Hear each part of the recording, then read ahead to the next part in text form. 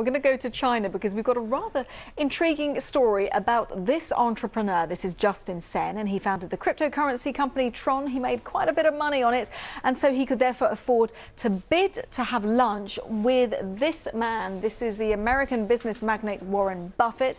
Now, um, the entrepreneur paid a staggering $4.6 million in a charity auction for the privilege. Days before the lunch was due to take place, however, Mr. Sun pulled out out. He eventually posted on his Weibo account this open letter to his followers apologising for his, as he described it, excessive self promotion. And he claimed that his actions had triggered concerns uh, from regulatory authorities.